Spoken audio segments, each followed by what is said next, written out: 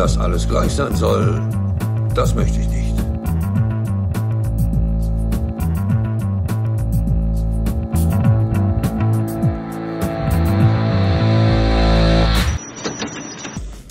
Hallo Freunde der Butterblume, hier bin ich wieder, euer Hannibal, der Lokomotivführer alias Werner G. Petschko, hier vom Gleichsatzkanal mit der Folge 56 der berühmt-berüchtigten philosophischen Trilogie Abstraktionen, Nominalismus, Sprachkritik. Wir machen weiter mit der Nummer 268 und äh, einer Korrektur des Werkzeugs, äh, berühmt berüchtigt für ein falsches Werkzeug, möchte man sagen. Hermann Cohen, äh, Neukantianer, Marburger Schule, von dem ist hier die Rede, er verwirft den Dualismus von Anschauung und Denken als zweier gleichberechtigt nebeneinander stehender Formen der Erkenntnis. Er erklärt auch die Anschauung für eine Form des Denkens. Es gibt also nicht ein solches äh, gegebenes Rohmaterial, sondern jede Empfindung und Wahrnehmung ist schon etwas Gedankliches. Da wären wir äh, schon wieder beim Vorgänger der ganzen Geschichte beziehungsweise eins drüber. Jede Begriffsbildung ist ein Urteilen und Empfindung und Wahrnehmung ist schon etwas Gedankliches. Die beiden Sätze, die können äh, sozusagen in einer Linie genannt werden. Genau um das geht es nämlich hier, dass äh, Empfindung, die Wahrnehmung, äh, die Empfindung erst recht schon eine Formung darstellen aus einem un ungeformten. Empfindung ist nicht äh, ungeformtes mehr und äh, noch mehr die Wahrnehmung, äh, ein Urteil, das berühmte gekrümmter Stock im Wasser, äh, wonach die Wahrnehmung dann ein Urteil ist. Äh, wohingegen die Empfindung, die Sinnesempfindung, die Gesichtsempfindung die ist, dass der Stock gekrümmt ist, aber in der Wahrnehmung äh, ist er immer noch gekrümmt, äh, müsste eigentlich ein Unterschied sein als Urteil, äh, weil man das weiß, dass die Lichtbrechung äh, zu solchen Re Resultaten führt. Das war aber nicht die Sache. Hermann Cohen ist, war auch derjenige, der äh, den Spruch äh, oder auch äh, Paul Nathorp, bin ich jetzt überfragt, wer genau von beiden, aber beide stehen äh, für den Spruch, dass das Gegebene ist ein Gesuchtes. Ist schon eine gewisse Annäherung äh, zur, zu, zum Paradigma, das hier auf Gleichsatz gilt, es ist nichts gegeben, so verkürzt, plakativ. Äh, gemeint ist aber, es ist nichts logisch allgemeingültig gegeben. Auf eine praktisch nützliche Weise ist natürlich etwas gegeben, aber der Unterschied ist äh, von äh, grundsätzlicher radikaler Bedeutung in der ganzen Auffassung in Bezug auf Realität, Objektivität, Allgemeingültigkeit, Legitimation und so weiter. Äh, hier nochmal äh, Cohen, für den gibt es keinen Unterschied äh, sozusagen von, von Anschauung und Denken, weil, weiß ich jetzt nicht, ob Cohen der Meinung ist, auf alle Fälle ist die Anschauung sowieso so ein, so ein Begriff aus der Not geboren, weil man irgendetwas gebraucht hat, irgendeine Instanz vor, vor dem Denken, die ja offensichtlich äh, vorhanden ist. Letztlich war es der Versuch, aus diesem ungeformten irgendetwas noch eine Instanz dazwischen zu schalten, bis dann, ähm, äh, bis dann äh, mit dem Denken dann ein Begriff im Spiel war, aber der Punkt der Allgemeingültigkeit, der wurde hier nie berührt. Es ging immer schon, es war, war immer schon, stand immer schon fest, dass eine Realität äh, allgemeingültige, die gleichermaßen jeden Menschen mit Verstand auf dieser Welt äh, als solche erscheint oder angenommen wird. Es ist der grundsätzlich äh, rationalistische Glaube und da war äh, eben die Anschauung einer von verschiedenen Versuchen, terminologisch eine Brücke zu schaffen, äh, aber es, äh, letztlich wurde die ganze Angelegenheit nur verschleppt und, und verklärt, verwirrt das Ganze.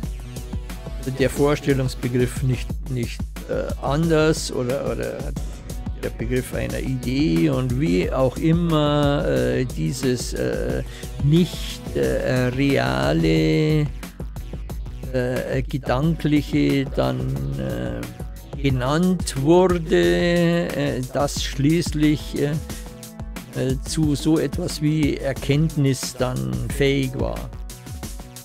Auf jeden Fall ist mit dieser, mit, mit dieser Mehr von der Passivität des Beobachters, der dem quasi der, der, das richtige Wort äh, äh, durch seine Sinne eingeflößt wird und dementsprechend dann äh, etwas beobachten kann oder wahrnehmen kann oder eine Erfahrung machen kann, eine Empfindung äh, hat, äh, ein Erlebnis, wie sie alle heißen, diese Begriffe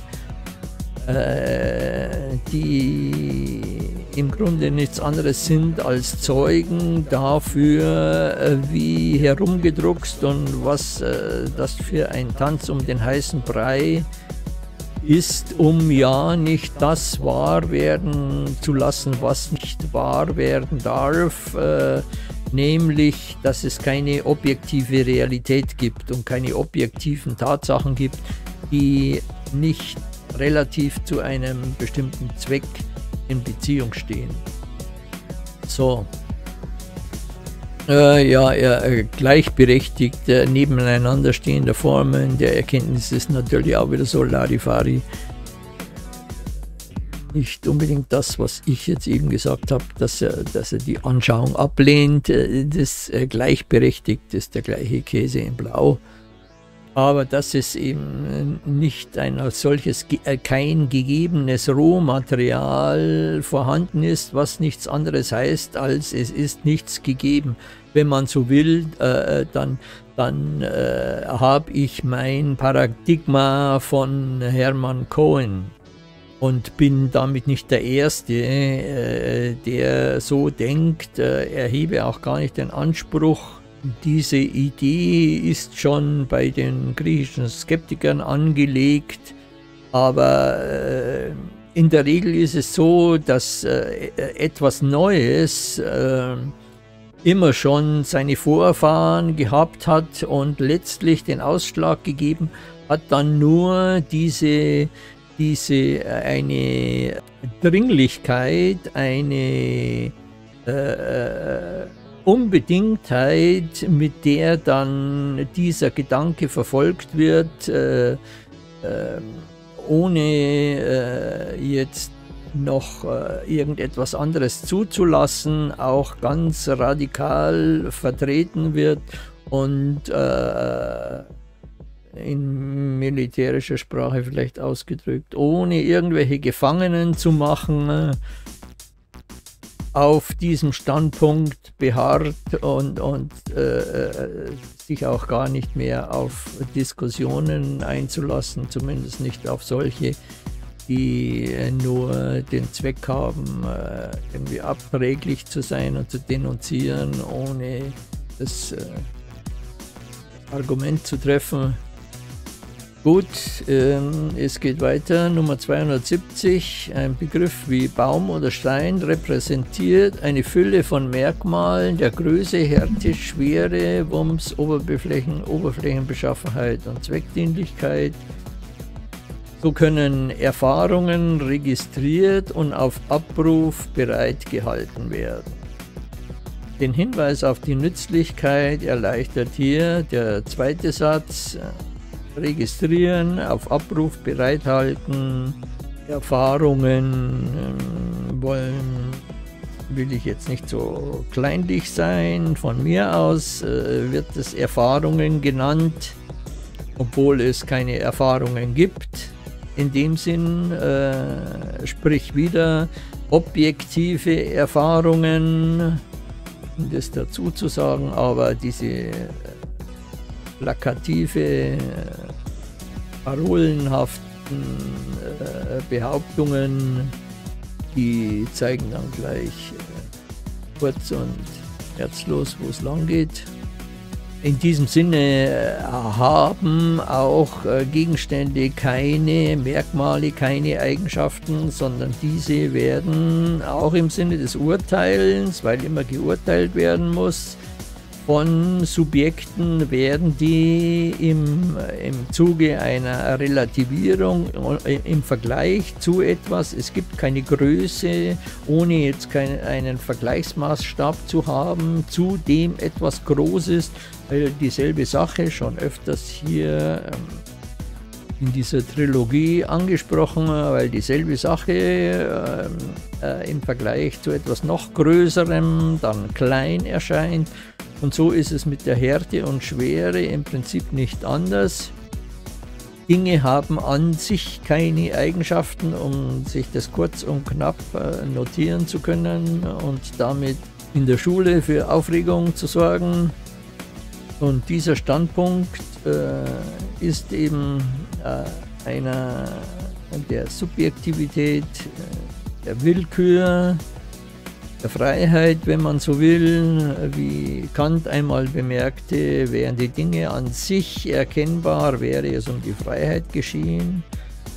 Genau so ist es, denn äh, würde, könnte alles erklärt und erkannt und vorhergesagt werden, dann gäbe es keinen Spielraum mehr für Menschen, aber davon äh, überzeugen lassen sich zum Beispiel solche, solche Konsorten, sage ich mal, äh, die der Meinung sind, dass, der, dass, es keinen freien Willen gibt, weil man äh, Zehntelsekunden, bevor man glaubt, sich zu entscheiden, sich schon entschieden hat. Das Unterbewusstsein hat da entschieden und äh, dergleichen, äh, da, da wird dann nichts mehr entschieden, man kann dann auch nichts mehr wählen und dann bin sogar ich äh, der Meinung, dass etwas nicht sein kann, weil es nicht sein darf. Äh, allein die Idee, äh, dass, äh, es, dass ein Mensch keine Wahlmöglichkeiten äh, hat und haben kann, äh, im Großteil seiner Möglichkeiten, sage ich mal, Großteil ist selbstverständlich so, dass ich jetzt nicht äh, per Willensentschluss mich unsterblich machen kann. Aber äh, was bedeutet jetzt so eine Entscheidung oder die Unmöglichkeit, äh, sich gegen die sogenannten Naturgesetze aufzulehnen? Die zweifellos äh, eine praktische, einen praktischen Nutzen haben, wenn ich das weiß, wenn ich mich vom, vom Dach stürze, dass ich da unten mit zertrümmertem Körper landen werde.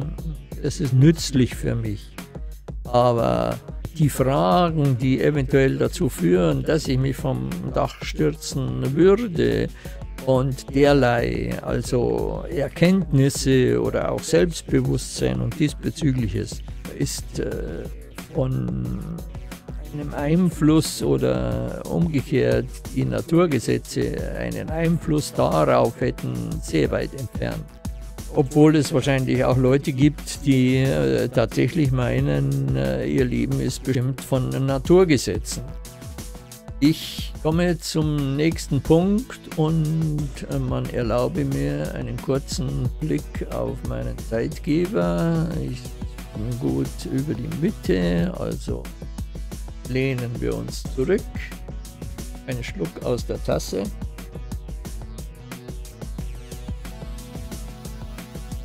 Äh, Product Placement haben wir auch noch Zeit. Hoffentlich schneide ich das aus der Post-Production nicht raus. Da muss ich nur reden, denn längere Pausen ohne Kommentare werden gekürzt.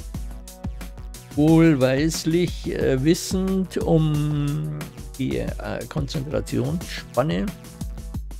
Gewisser Generationen äh, dieses Jahrtausend geborene, so 271 zwischen der Welt der sinnlichen Erlebnisse, eine Welt, und der Welt der Begriffe, eine Welt, und Aussagen tut sich eine logisch unüberbrückbare Kluft auf. Ähm, dies könnte auch in Stein gemeißelt ein Zitat von jemandem, ich würde jetzt in erster Linie Heinrich äh, Rickert nennen, der das äh, immer wieder vertreten hat. Äh, wäre ein schöner Spruch, Grabspruch vielleicht nicht, aber ein Heinrich Rickert-Denkmal und das Ganze in Anrufungszeichen, Ausrufungszeichen vor der Universität von Tübingen, nein, Heidelberg, ein Freiburg dann suche ich sich äh, was aus. Ich denke mal Heidelberg. Egal. Also, äh, auf was es hier ankommt, diese logisch unüberbrückbare Kluft. Und da muss man es äh, ernst nehmen mit Logik und auch streng. Und nur dann äh, kommt es zu dem Urteil, dass das Individuum eben etwas äh, Inkommensurables in Bezug auf Allgemeinheit ist der, der genaue Kontrapunkt. Und nicht nur so, dass ein Individuum ein Teil des Allgemeinen ist, der kleinste Teil zwar des Allgemeinen, aber auch etwas Allgemeines. An dieser Geistesscheide, sage ich mal, oder nur Scheide, äh, damit ich dann jetzt noch sagen kann, scheiden sich die Geister. Ansonsten hätte ich zweimal Geister. Schön würde mir rot angestrichen werden im äh, Deutschaufsatz. Also äh, erscheiden sich die Lager derjenigen und auf der einen Seite stehen ungefähr 98 Prozent der Menschheit, wenn es äh, logisch streng zugeht. Wenn es nicht so logisch streng zugeht, wenn man jetzt so will, dass auf der einen Seite die Irrationalisten stehen, und auf der, auf der anderen Seite die Objektivisten, dann ist dieses Verhältnis sogar 50-50, so ungefähr in der Preisklasse, könnte man meinen. Aber diese Irrationalisten, die ich da ähm, drunter rechne, sind dann auch alle möglichen Spinner und äh, abergläubische Horoskopanbeter, äh, Sonnenanbeter. Man muss nur ins Internet gehen, um sich einen Überblick äh, darüber zu verschaffen, was es nicht alles an Quark und Käse gibt in der Richtung und leider wird der Gleichsatzkanal äh, auch darunter gerechnet von ähm, pauschal generalisierenden Konsorten, die sich nicht die Mühe machen, etwas tiefer zu blicken. Äh, für die ist dann dieser Kanal hier auch nichts anderes als einer der vielen Weltverbesserer, Prediger, die es da gibt was jetzt wieder für meine These spricht, dass diese äh, Leute den äh, Draht zu dem, was äh, wirklich abgeht, verloren haben. Die Welt dieser Leute, die den Gleichsatzkanal nicht wie es, also ich will jetzt nicht bestreiten, dass es nicht, dass hier nicht viele Fans habe, sage ich einmal. Zumindest in der Vergangenheit hat es immer wieder sehr positive Zuschriften gegeben, so in Richtung Perle im Netz äh, und dergleichen, aber immer nur für Insider. Aber der Umstand, dass ähm, sich äh, kaum eine, eine Reaktion auf diese Art von Thematik ergibt, zeugt für meine Begriffe davon, wie sehr die Objektivisten und diejenigen, die an allgemeingültiger, am Tropf der allgemeingültigen Wissenschaft hängen, da in ihren Vorurteilen verstrickt sind. Da braucht man nur äh, die Parole, es ist nichts gegeben, in die Runde werfen und schon äh, gehört man zu den üblichen Spinnern im, im Netz. Aber ich kann damit leben, ich weiß es besser.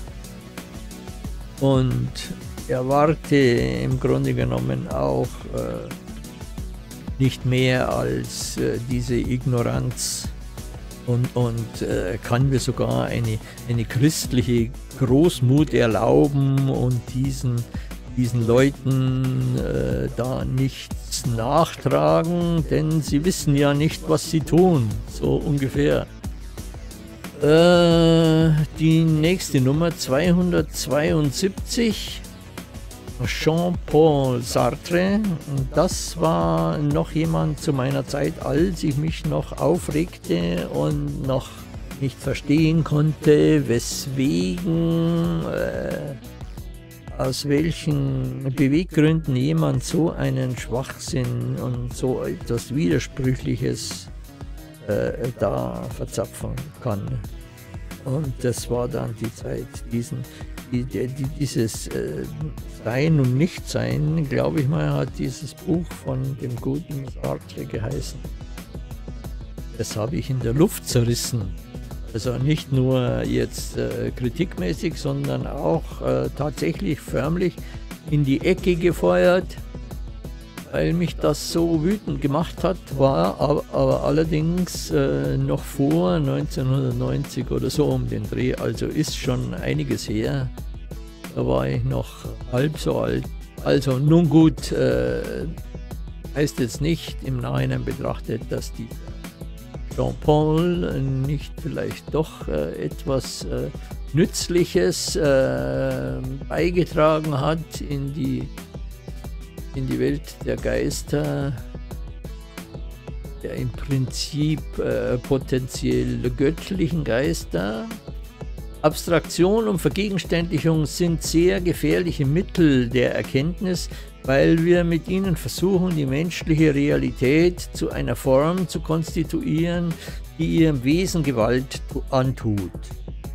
Jetzt äh, muss ich hier dazu sagen, soweit ich mich erinnern kann, ist jetzt, äh, gehört jetzt diese, diese Aussage zu jenen, die zwar im Rahmen der objektivistischen Gültigkeit oder des äh, allgemeingültigen Seins äh, der Realität äh, eine gewisse Kritik anbringen, wie diese hier, dass äh, Abstraktionen, wenn sie sehr pauschal und klischeehaft und sehr generalisierend, verallgemeinernd, gefährliche Mittel der Erkenntnis wären eher Mittel der Dummheit, weil wir versuchen, menschliche Realität ihrem eigenen Wesen Gewalt antut. Also äh, dennoch, äh, dennoch ist dieser Herr Sartre ein äh, Apostel der